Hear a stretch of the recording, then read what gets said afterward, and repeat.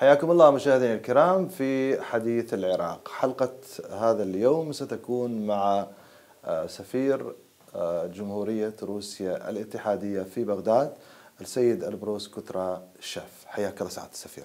أهلا وسهلا. خلينا نبدأ من العلاقات الثنائية بين العراق وروسيا. ودائما تتحدثون في مؤتمراتكم الصحفية الطرفين العراق وروسيا عن رغبة في تطوير العلاقات. لكن من الناحية العملية هل وصلتم إلى علاقات مثالية بين الطرفين؟ طبعا آه، لم نصل لأنه آه، قدرات آه، علاقاتنا وقدرات لتطوير علاقاتنا أكبر بك- بكثير مما هو نحن الآن فيه. فبهذا السدد لازم نبذل جهود إضافية لنصل إلى مستوى فعلا مثالي ونموذجي من العلاقات الثنائية.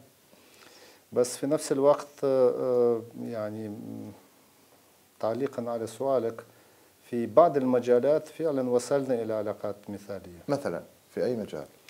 آه، قبل كل شيء آه، علاقة شعبية اجتماعية مم. يعني هذا هذا الموضوع آه، أحيانا يتم يعني تقليل أهميته بس هذا أهم شيء هذا قاعدة مم. للعلاقات يعني مهما كانت الحكومات والأنظمة فعلاقات بين الشعبين الروسي والعراقي فعلا قوية مم. فهي فعلا تأريخية. ف يعني هناك مشاعر آه، تعاطف آه، متبادلة قوية جدا بين الطرفين.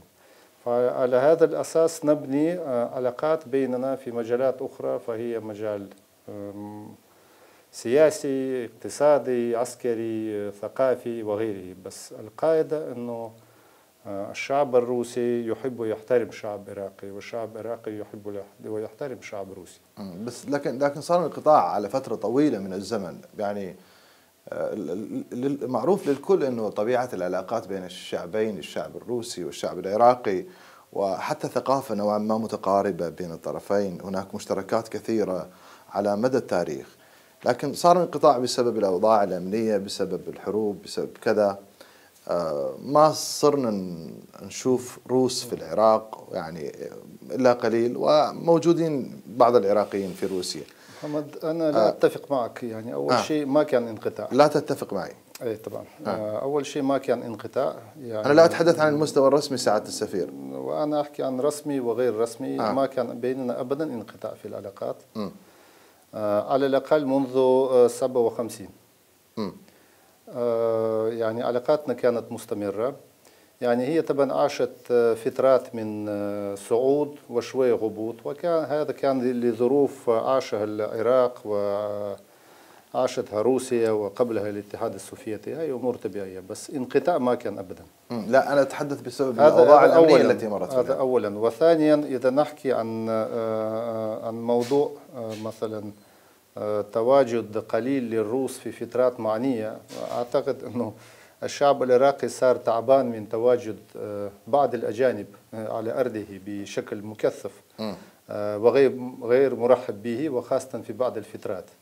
فمن هذه الناحية يعني لا لأن إحنا الشعب العراقي نرحب. شوية هي كان في خدمة علاقاتنا نرحب بكم كضيوف آه، لكن طبعاً. لا نرحب بالآخر يعني بآخرين أو يعني بأي شعب آخر.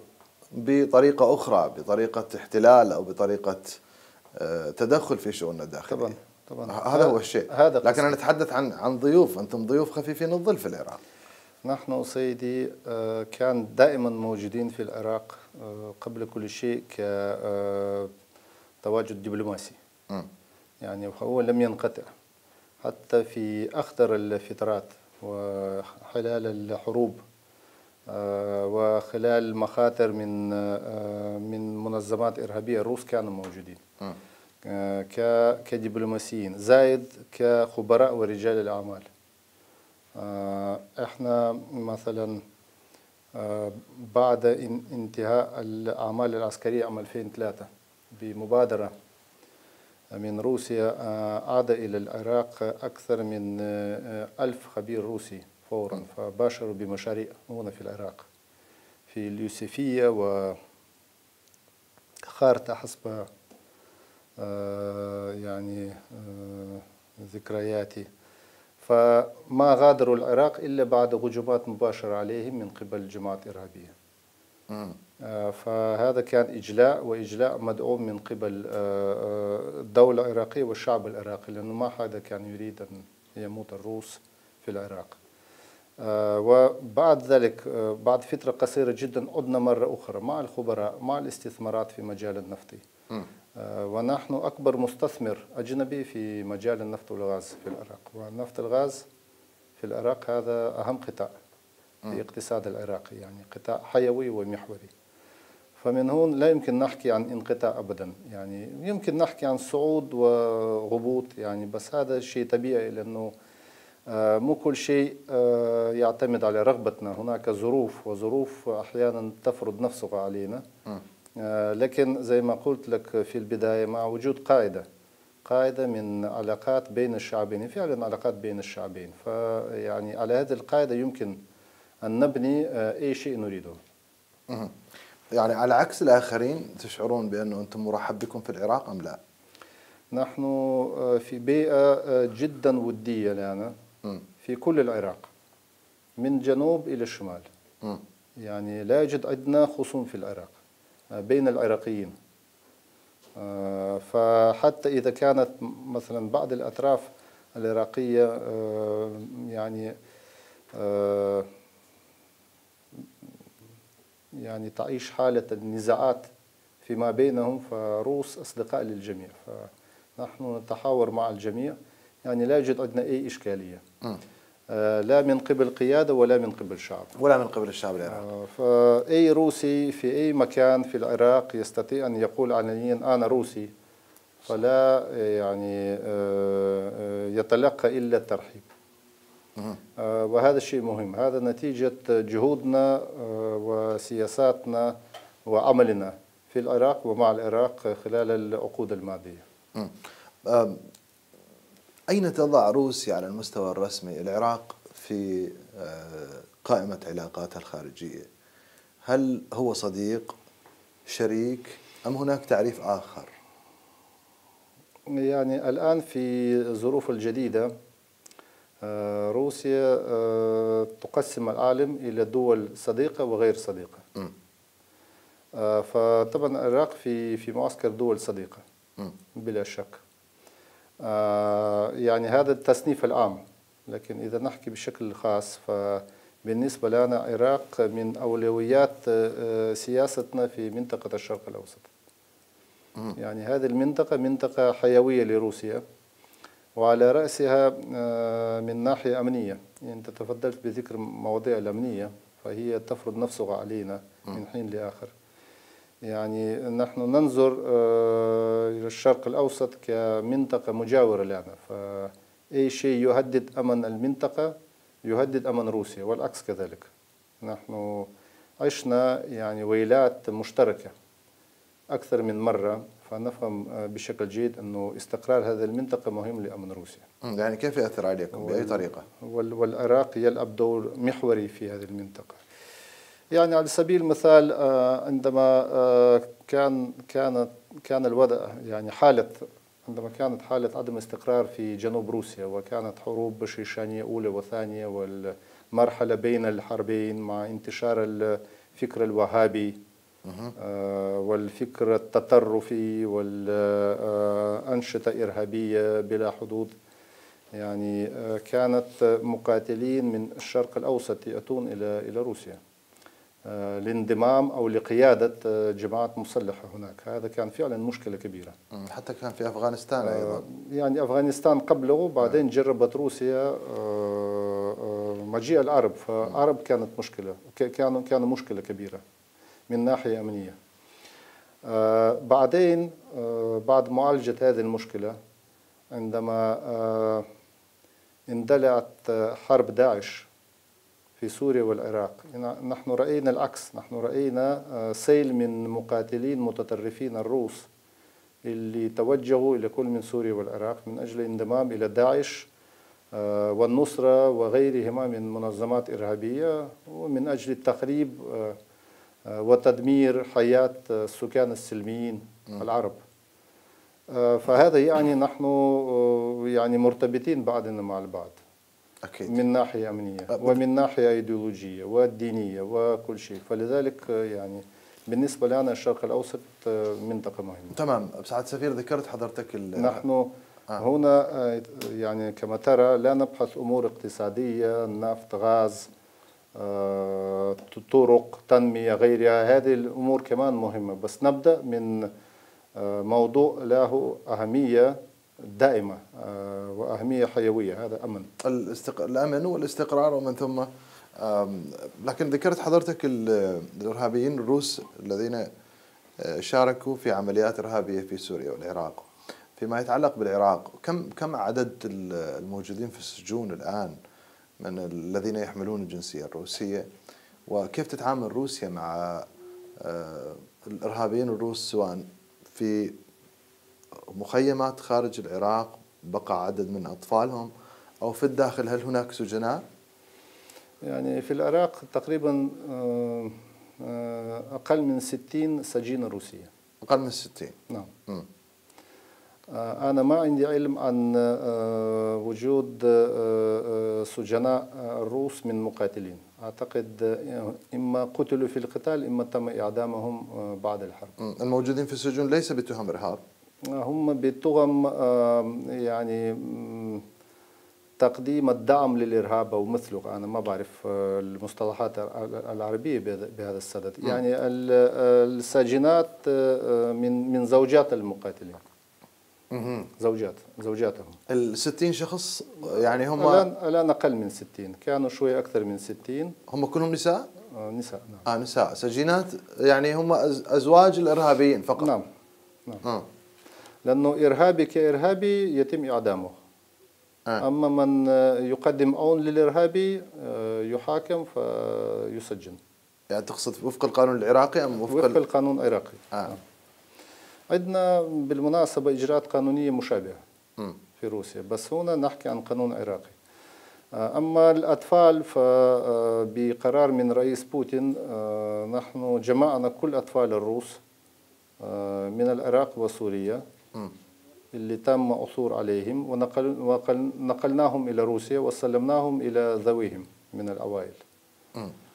آه، هذا كان كانت آه، عملية آه، ضخمة جدا آه، بمشاركة تقريبا كافة مؤسسات الدولة آه، ال- الأمنية آه، والاقتصادية والمالية وحتى وزارة الدفاع شاركت وال آه، يعني مؤسسات الأغلية آه، آه، مؤسسات خاصة بحالات اجتماعية لأنه آه، تقريبا كل الأطفال بدون وثائق.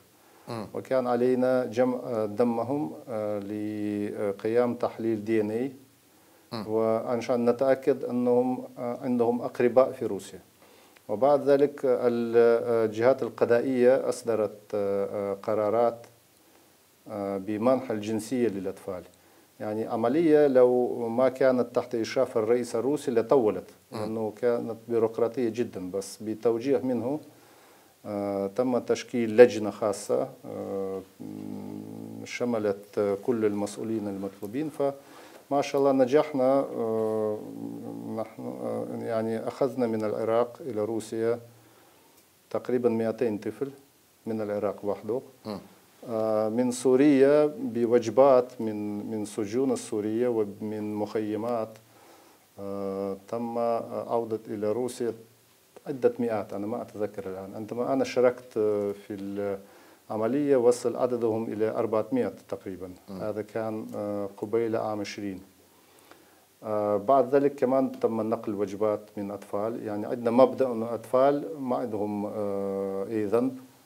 الطفل بريء آه، فلازم أوكي. يعيش في ظروف عادية فإذا لا نستطيع لحد الآن بعد يعني لا, لا نستطيع بعد آه، عودة أمهاتهم فلازم أن تعود الأطفال فهناك أقاربهم في انتظارهم. يعني كلهم كلهم أيتام يعني. آه، مش أيتام عادة ماكو بابا ماكو لأنه بابا قتل في القتال وماما إما في المخيم إما في في سجن. هو هذا ال- ال- اليتيم باللغة العربية. آه يتيم. آه. يعني أورفنز عد- عندنا يتيم عندما ماكو لا بابا ولا ماما. آه. هي هيك نقول بالروسي يتيم. فآخر مرة أنا نقلت طفلة من من العراق. آه. اسمها براء ست سنين. آه، ماما سورية بابا روسي بابا قتل في القتال كان داعشي. آه، يعني أجرينا كل الإجراءات اللي أشرت إليها. تأكدنا من أن عندها أصول روسية. فأنا خلال توجيهي خلال توجهي إلى روسيا في إطار ترتيب آه، زيارة دولة الرئيس إلى موسكو أخذت معي الطفلة وسلمت آه، سلمتها إلى جدتها تمام. بمطار موسكو سعادة السفير يعني أطلب منك تفسير إذا يعني أو أو أو ربما تحليل ربما نتجاوز الوظيفة الدبلوماسية هنا. يعني الآن غزة تمر ب جرائم يومية لكن آه، لماذا لم نشاهد أنه هذا الشحذ لاستقبال الإرهابيين من روسيا ومن كافة دول العالم باتجاه العراق وسوريا، لكن لم نشاهد هذا الشحذ باتجاه غزة، هل يمكن أن يحصل في وقت ما أو آه، لماذا لا يحصل؟ خليني آخذ فاصل وأرجع لحضرتك، مشاهدينا الكرام فاصل وأعود إليكم.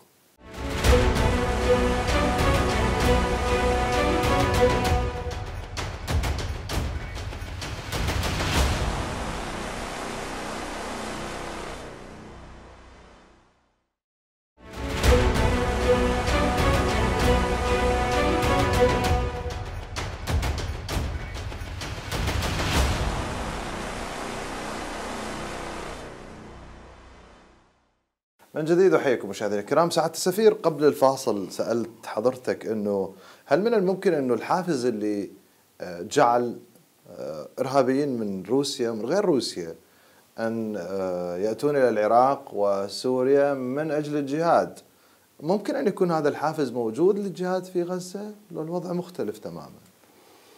طبعا وضع مختلف تماما لأنه المنظمات الإرهابية العالمية تستهدف المسلمين والشعوب الإسلامية ولا تستهدف أعداء الأمة الإسلامية أه. فليش يوجهون أو يركزون على غزة على إنقاذ غزة يعني معروف أنه آه، لا داعش ولا نصرة ولا غيرهم يستهدفوا مصالح آه، أمريكية أم مصالح آه، إسرائيلية بالمنطقة أه. بس قاموا بجرائم بشعة ضد الإنسانية فيما يخص بتعاملهم مع السكان السلميين ماذا يعني هذا؟ وعلى رأسهم سنة أها ماذا يعني هذا؟ هذا يعني أنه من من يوجه أم يدير آه، الإرهاب العالمي لا يستهدف آه، إسرائيل آه. ولا يستهدف حلفائه من هو من من يدير الإرهاب العالمي؟ آه هذا أنا عندي وجهة نظر بهذا الخصوص بس آه، بعد آه، تعاقدي أم إقالتي أم استقالتي سنحكي عن هذا أها يعني الآن ما عندي حق في آه يعني يعني وجهة نظر لو معلومات. آه وجهة نظر مبنية على المعلومات طبعا. على معلومات أن هناك من يدير شيء اسمه الإرهاب العالمي. إيه طبعا. طبعا يعني المنظمات آه، الإرهابية سيدي آه. آه. هي لا تأتي من فضاء ولا تستند إلى الشيء فاضي الإرهاب بشكل عام هو إذا نحكي عن مؤسسات إرهابية كبيرة وقوية واللي تشتغل خلال مد طويل هي عادة آلية ووسيلة بيد الجهات الاستخباراتية والمخابراتية أجنبية. هاي بالإنجليزي يسمى sourcing فإذا عندما تحاول أن تفهم شو تريد المنظمة وشو تقصد أو شو تستهدف هذه المنظمة أو ذاك لازم تنظر في نشاتها فمن يعاني من نشاتها فعلا ومن يستفيد من نشاتها إذا ممكن أن نلخص هذا الرأي بأنه هناك من يدير الإرهاب العالمي باتجاه قتل المسلمين فقط. والمستفيد من قتل المسلمين هو إسرائيل وأمريكا. ممكن؟ هاي كفكرة فكرة جيدة. كفكرة جيدة. وليس أمريكا وإسرائيل فقط يعني آه. هناك بعض الدول الأخرى كمان مستفيدة. بس أنا قصدي أنه نحن في روسيا اتحادية نعرف هذا الشيء جيدا لأنه نحن كنا ضحايا لهذه الهجومات أكثر من مرة. نحن نعرفهم جيدا نعرف جذورهم لأنه قتلناهم أكثر من مرة فتم قبض عليهم أكثر من مرة. عندنا خبرة كبيرة في معالجة آه، تمام. هذا هذا يجرني إلى سؤال حقيقة يعني من ثم أدخل إلى موضوع غزة وما يجري الآن. واحتماليات الحرب الشاملة والتفاصيل الأخرى، لكن يجرني إلى سؤال آه، حقيقة يعني أتمنى أنه أعرف آه، السر من من من وراءه. أنه روسيا من الدول التي حاربت الإرهاب في سوريا وساعدت السوريين في قمع الإرهاب ونوعا ما إلى الاستقرار اللي موجود حاليا في سوريا. لكن الضربات الإسرائيلية المتكررة على روسيا على سوريا حاليا لم تساعد روسيا في ان أن توقف هذه الضربات ولم تتدخل في هذا الموضوع. روسيا موجودة في سوريا وسوريا تتعرض إلى قصف يومي تقريبا من من إسرائيل.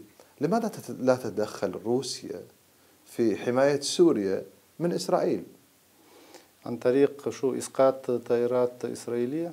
ربما بأي طريقة تعرفونها حضراتكم سيدي من يريد إنقاذ سوريا من, من, من إسرائيل ينطلق من إنقاذ سوريا كدولة إنقاذ سوريا كمجتمع كشعب م. لازم يتعامل مع الكل تحديات بواقعية آه، وبعقلانية م. فليس في مصلحة سوريا أن تصبح هي آه، يعني مسرح لتصفية حسابات بين الدول أو للاقتتال بين الدول م. هذا مؤكد. فنحن آه، أعطينا لسوريا كل ما نستطيع فسوريا آه، يعني مشكورة لنا. فيعني هذا السؤال أنت تفضلت ب وضعه الإعلامي السوري لا يسأله لأنه يعرف خصوصية وضع في سوريا. فلماذا آه، أحسن آه، آه، تجنب إسقاط طائرات أجنبية حتى لو كانت تستهدف بعض المناطق؟ نحن طبعا ندين بشدة أي هجومات على سوريا؟ مما كان مصدرها. فنطلب ونحاول إيجاد الحل للموضوع بس في نفس الوقت نحن لا نريد اندلاع حرب حول سوريا وخاصة حرب إقليمية. وسوريا هي أول من آه، تعرف يعني قبلنا آه، أنه ليست في مصلحتها آه، اندلاع أي نوع من حرب بينه وبين إسرائيل. لكن إسرائيل يعني يعني بين فترة وفترة تهاجم سوريا بشكل علني. آخرها ضربات نعم. المطار نعم وما بعدها. تهاجم وكل مرة تدعي أنه تهاجم لا سوريا بس مصالح إيرانية هناك. م. إذا هي يعني هذا الموضوع آه، موضوع ليس شيء بسيط. آه، فأنا يعني مش مخاول للدخول في تفاصيله. أنا أنا بعرف التفاصيل يعني آه. أكثر من تفصيل. فنحن نتعامل في على أرض سوريا مع جهات كثيرة كأمر الواقع. مثلا نحن نتعامل مع الأمريكان في سوريا. من أجل ضمان استقرار في مناطق معنية سورية. آه، في نفس الوقت نحن لا نعترف بشرعية تواجد أمريكي على أرض سوريا ونصنفه كاحتلال. فنحكي عن احتلال أمريكي لشمال شرق سوريا ولمنطقة تنف ما الفرق بين وجودكم ووجود الوجود الأمريكي بالتالي آه، يعني قوتين أجنبيتين في في دولة أخرى الفرق مثل فرق بين ضيفك اللي دخل إلى بيتك بدعوة من عندك آه. وبين اللص اللي دخل إلى بيتك بقوة أم عن طريق الشباك آه. أنتم بدعوة من الحكومة وهم لصوص طبعًا. دخلوا طبعًا. إلى إلى هذا أكيد لصوص لصوص سمعت لك تصريح يعني شفت واحد من تصريحاتك تقول إنه سبب عدم استقرار العراق إذا كان يعني دقيق هذا الكلام آه، هو الأمريكان صحيح هذا الكلام؟ آه ليس ليس الأمريكان فقط بس آه. الأمريكان يلعبون دور مهم في عدم استقرار العراق وهل يلعبون الأمريكان دور في عدم تقوية العلاقات أكثر بين روسيا والعراق؟ وهذا كذلك يعني آه آه, آه، في نفس الوقت أنا لا أدعو إلى انسحاب أمريكي فوري آه بلا شروط وبأجل. من العراق. آه من العراق. آه، لأنه نحن شاهدنا ما ما نتائج مثل هذا الانسحاب غير مسؤول من أفغانستان م. مثلا. فبهذا الخصوص طالما الأمريكان موجودين هنا خلال عقود آه يعني آه هم بدأوا جزء من توازنات داخلية في هذا البلد. م. فلازم أن ينسحبوا دون السماح بوقوع آه، ال- كيف نقول بالعربي؟ أضرار؟ فاكيوم آه، من ناحية أمنية. يعني فراغ. فراغ فراغ نعم. اللي لأنه فراغ يؤدي إلى فوضى. آه، لكن آه، مبدئيا نحن نقول إنه طبعا هناك آه، آه، لأمريكان جزئيا دور إيجابي فالحكومة العراقية تتحدث عنه إنه تتعاون وياهم في في أمور الأمنية وتدريب الكوادر وإلى آخره. فنحن نحترم وجهة نظر الحكومة العراقية فلا نجادل مع وجهة نظر الحكومة العراقية. أنا معتمد لدى الحكومة العراقية. أكيد. بس آه، وجهة نظري أنه بدون بدون أمريكان إذا كان العراقي آه، هو مسؤول على كل أمور في بلده لكان أحسن له تمام. كيف يأثرون عليكم في طبيعة العلاقات بينكم وبين بين بين العراق بين روسيا وبين العراق أيضا على مستوى التسليح كنا نتوقع أنه آه، يكون تسليح للجيش العراقي روسي مثل ما كانت تسليح الجيش العراقي منذ زمن طويل كان روسي ويعتمد على روسيا أيام الاتحاد السوفيتي ما هو الدور اللي يمارسونه الأمريكان لمنع. منع تطوير العلاقات بين روسيا والعراق هم منذ 2003 يحاولون تخريب هذه العلاقات أو على الأقل تعقيدها. آه، فنحن متعودين مع هذا المنهج الأمريكي يعني ماكو شيء جديد بهذا الصدد وماكو مشكلة كبيرة لأنه زي ما قلت لك عندنا آه، ما شاء الله آه، قاعدة متينة فيما يخص بعلاقات مع العراقيين. وإذا كان عندك هيك العلاقات بها التعاطف متبادل والثقة فتستطيع أن تتجاوز كل المشاكل. يعني أمريكان شيء بسيط في هذه المعادلة. الأمريكان شيء بسيط. شيء مؤقت وبسيط.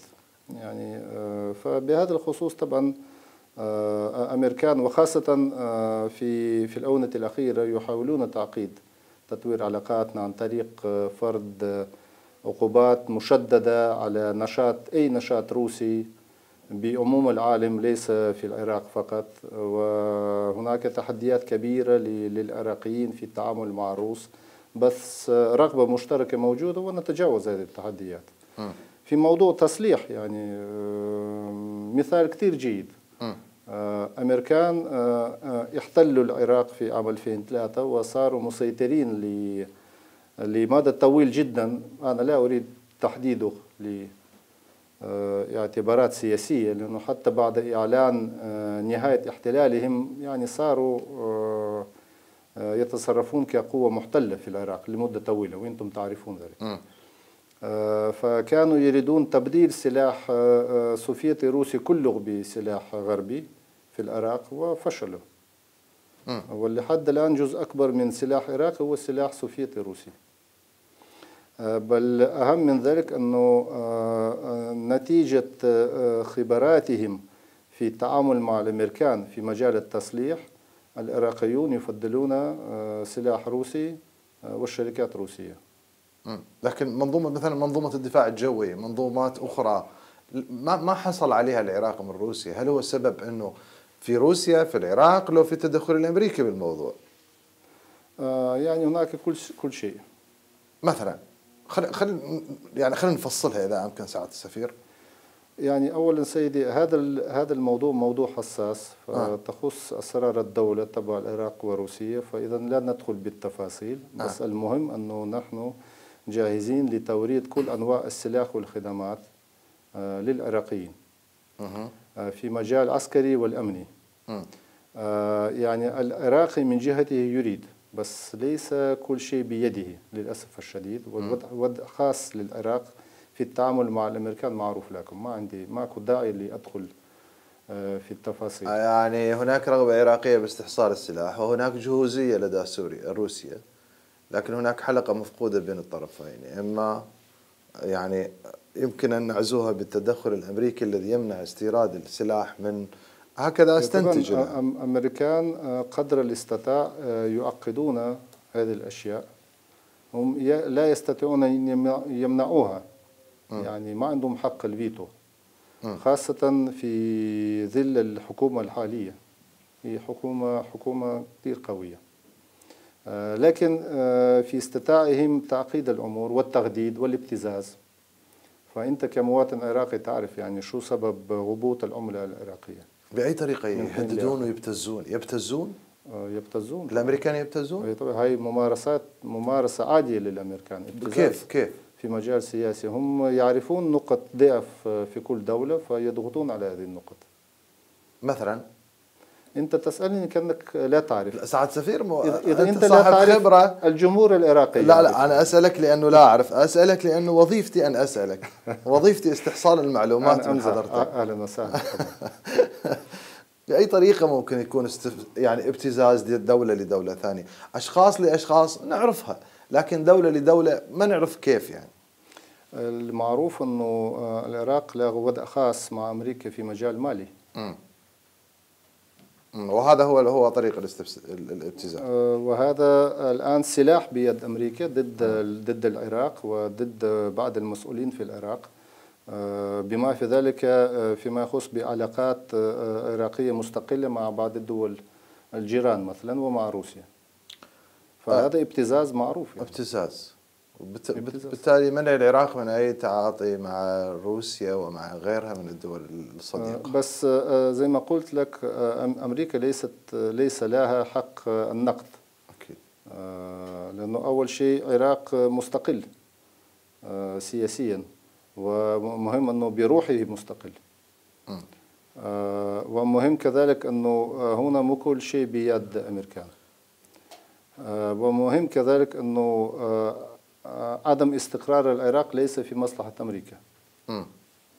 فلذلك هم لا يتجاوزون خطوط الحمراء حتى فيما يخص بضغوطاتهم أو ابتزازهم. لكن لكن الأمريكان استطاعوا أن يضغطوا على ال- السياسيين العراقيين وصوتوا آه، في مرة على ما واحد ضد روسيا. في الأمم المتحدة؟ آه، أحيانا يحدث هذا الشيء. يعني نحن ننظر فيها كشيء بسيط. يعني القرار يعود إلى القيادة العراقية. آه، نحن عندما نحتاج دعم عراقي خلال التصويت في الأمم المتحدة نطلب هذا الدعم. مم. وفي غالبية الأمور نحصل على هذا الدعم. يعني العراق إما يصوت لصالح روسيا إما يمتنع عن التصويت في تلك الحالات اللي التي آه، عدم التصويت فيها يعني دعم لنا. تمام سعاده السفير ما هو الموقف الروسي من الحرب على غزة؟ موقف الآن على مستوى وسائل الإعلام ربما هو يعني واضح لكن التطورات تزداد يوم بعد الآخر وهناك احتمالات لحرب شاملة آه، كثير من التفاصيل المتعلقة بهذا الموضوع. أرغب أن أسمعها من آه، جنابكم الكريم. لكن بعد أنا آخذ هذا الفاصل فاصل وأعود إليكم مشاهدينا الكرام.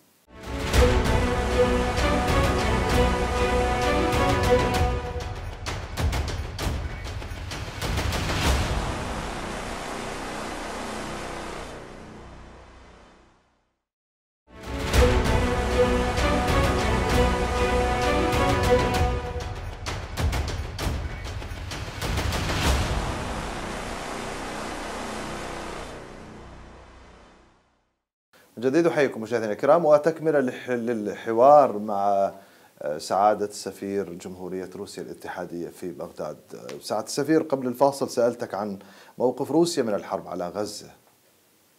موقفنا معروف. نحن ندين هذه الحرب م. ونطلب وقفه وقف إطلاق النار آه، دخول المساعدات الإنسانية إعادة أعمار آه، يعني نرفض آه، أي محاولات لتهجير الفلسطينيين من غزة إلى أي مكان آخر. يعني فنطلب عودة إلى مبدأ آه، حل الدولتين وإعادة إطلاق عملية آه، عملية تسوية بين فلسطين وإسرائيل. فهنا ندع المسؤولية الرئيسية. طبعا مسؤولية إسرائيل واضحة فلا يوجد يعني ماكو داعي للحديث آه، عنها. مسؤوليتها عن ماذا؟ هنا المهم مسؤولية على على الجرائم وال- والتدمير والهجوم على الشعب الفلسطيني هنا مم. بس آه، من من ناحية السياسية ومن ناحية آه، آه، أو من من منطق أمر الواقع ندع مسؤولية أكبر على الأمريكان ومن يقف معهم من دول غربية.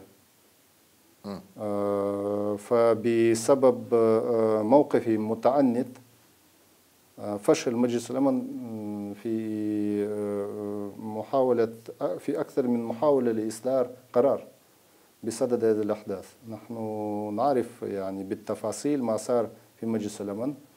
عندما آه، استخدمت أمريكا وحلفائها آه، بريطانيا ومثلهم استخدموا فيتو ضد مشروعين روسيين. فقط بسبب أنه هذه المشروعين ما كان بها إدانة حماس. وما كان بها وكان بها طلب وقف إطلاق النار.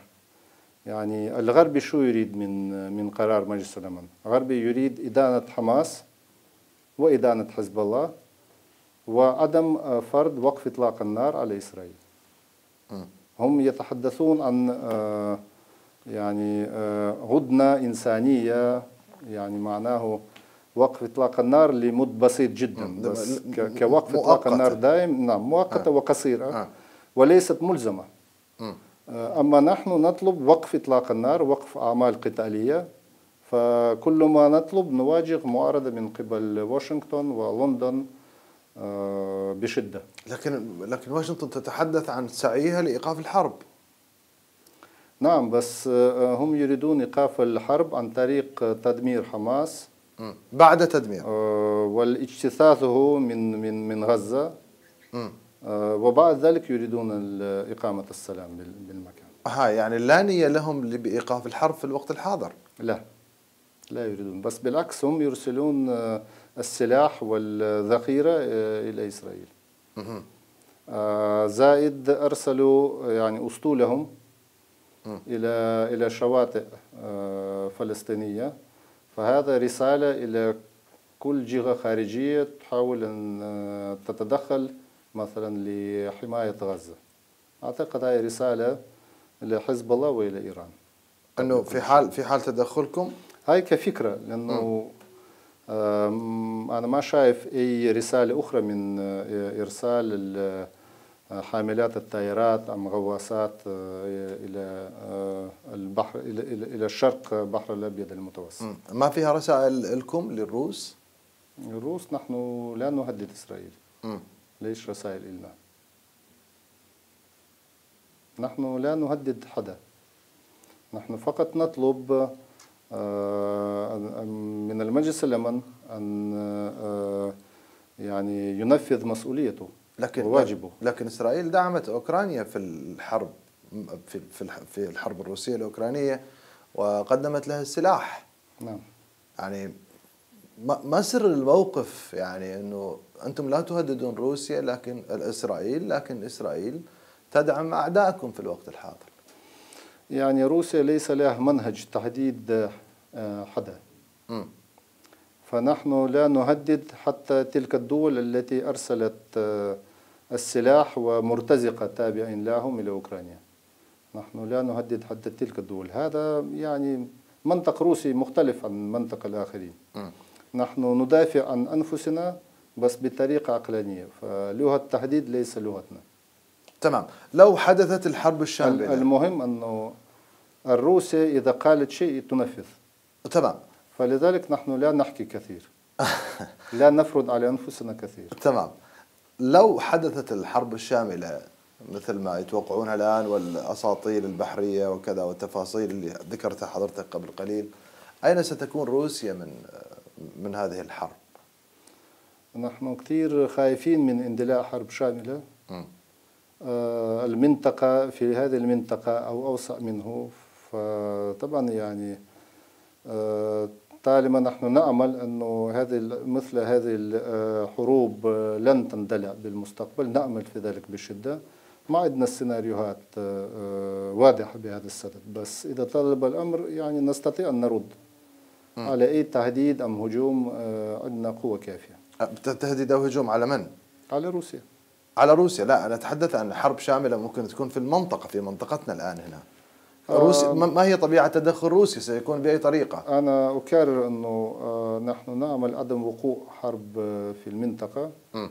وكما يبدو آه، لا يوجد هناك فرص كبيرة لاندلاع الحرب بالمنطقة آه، أنا يعني بصراحة يعني أنا أحكي معك بصراحة لا لا عذرا أنا أنا لا أصدق انه روسيا لا تعرف الاتجاهات القادمة يعني روسيا عندها إمكانيات عالية جدا وبإمكانها أن تستشرف المستقبل في كثير من المعطيات آه، ولديها الخيارات أيضا التي تضعها قبل حدوث كل شيء من المفترض أن يكون هكذا فهل هل إن روسيا لحد الآن لم تضع في خياراتها في حال اندلاع حرب في هذه المنطقة كيف سيكون دورها في المستقبل؟ هل سيكون محايد؟ هل سيكون مع محور ضد محور آخر أم سيكون مثلا آه، خارج هذه المعادلة؟ آه، نحن قبل كل شيء ندعو إلى ضبط النفس والصبر وندعو كل الأطراف. فزي ما قلت هذا النقطة مهمة. نحن لا نؤمن بأن هناك فرص كبيرة لاشتعال المنطقة حتى أخذا بعين الاعتبار ماذا يحدث الآن حول غزة. آه يعني السبب هذا موضوع آخر خلينا نتركه. بس الآن نحن لا نرى أن هناك تصعيد من قبل آه أي جهة في المنطقة يعني باستثناء تصعيد إسرائيلي على غزة. يعني باقي الأطراف وهي أطراف عديدة آه تمتنع عن التصعيد آه، فتقتصر ب آه، يعني خطوات آه، أنا لا أريد أن أقول أنها خطوات بسيطة بس هي ليست خطوات خطيرة جدا. ف يعني إطلاق الصواريخ تجاه إسرائيل مثلا من اليمن هذا لا يشتعل المنطقة. لا يشعل المنطقة؟ لا يشتعل ف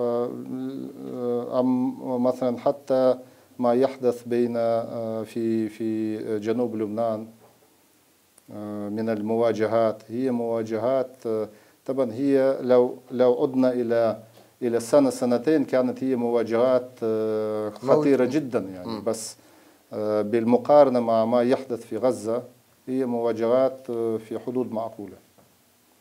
فنفس الشيء نرى من كافة القوى آه، بالمنطقة. فبهذا الصدد يعني عندنا أمل أنه آه، الأحداث أو تطور الأحداث لن يخرج من نطاق السيطرة.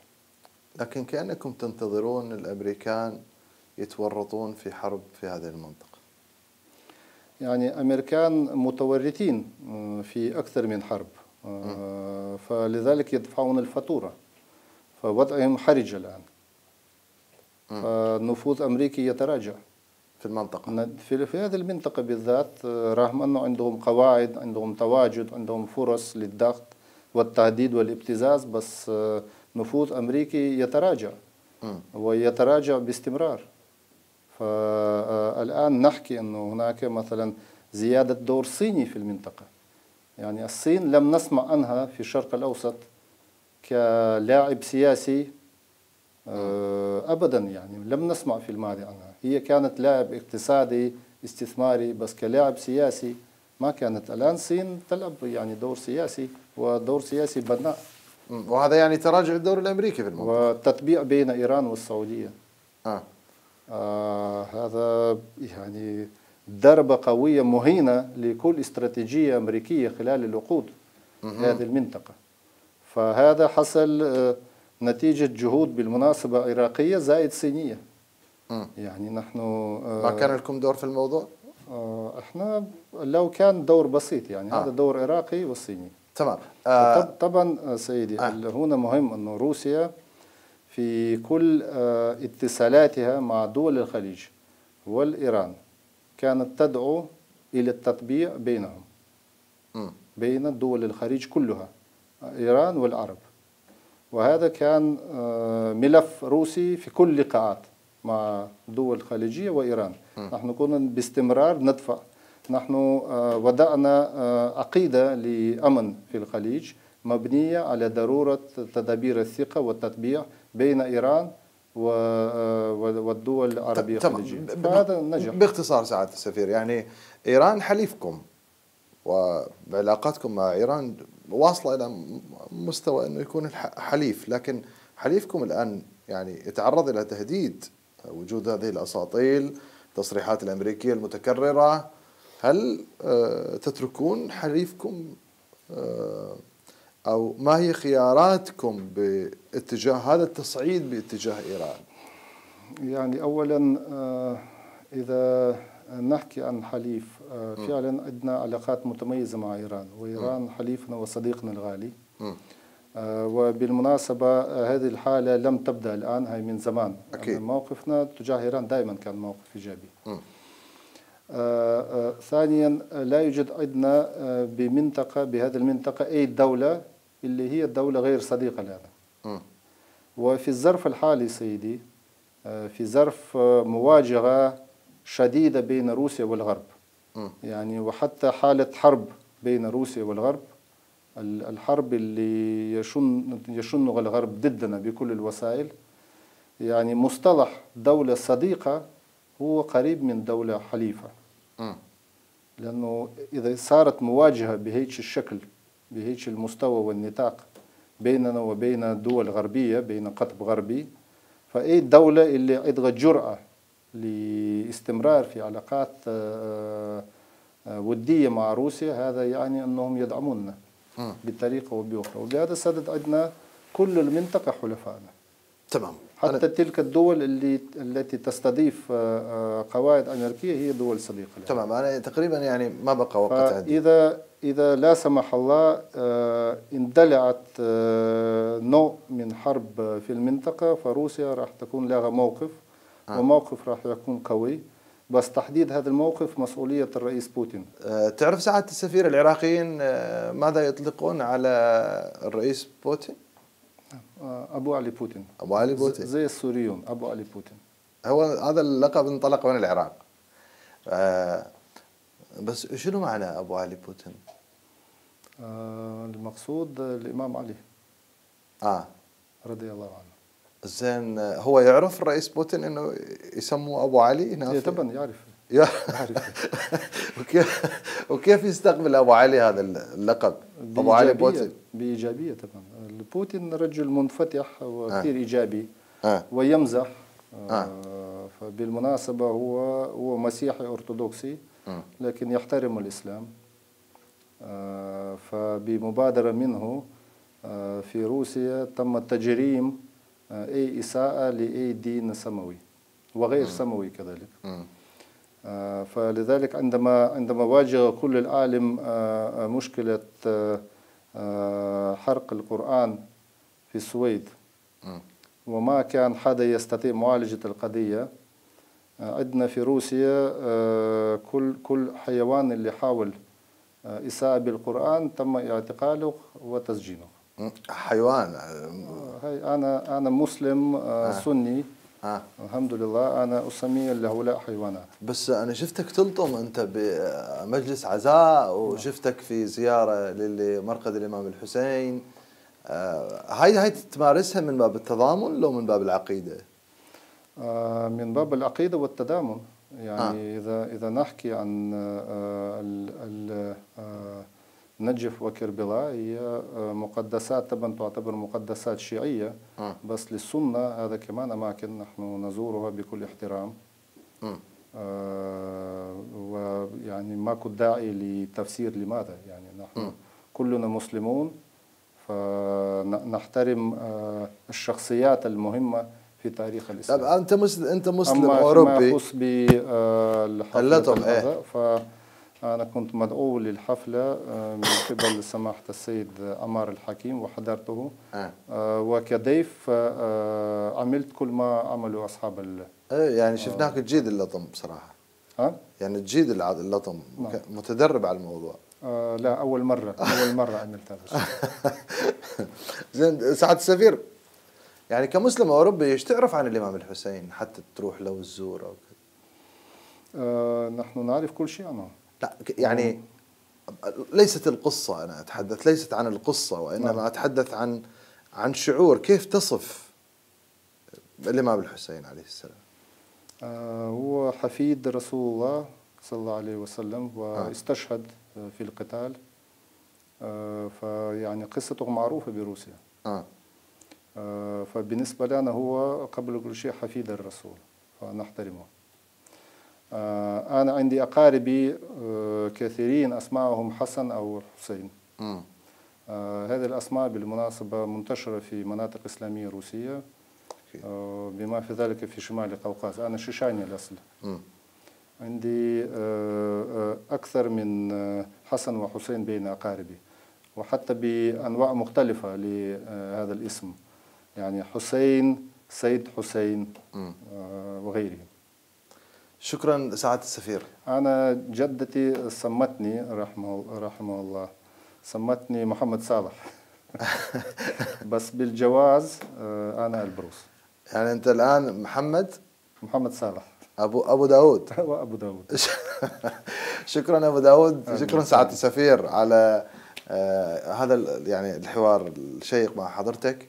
آه أنا بال- كصحفي الآن آه أريد منك آه تنطيني وعد.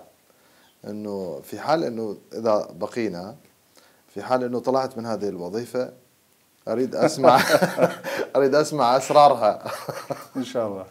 شكرا سعادة السفير على هذا الحوار وأشكركم مشاهدينا الكرام. في أمان الله.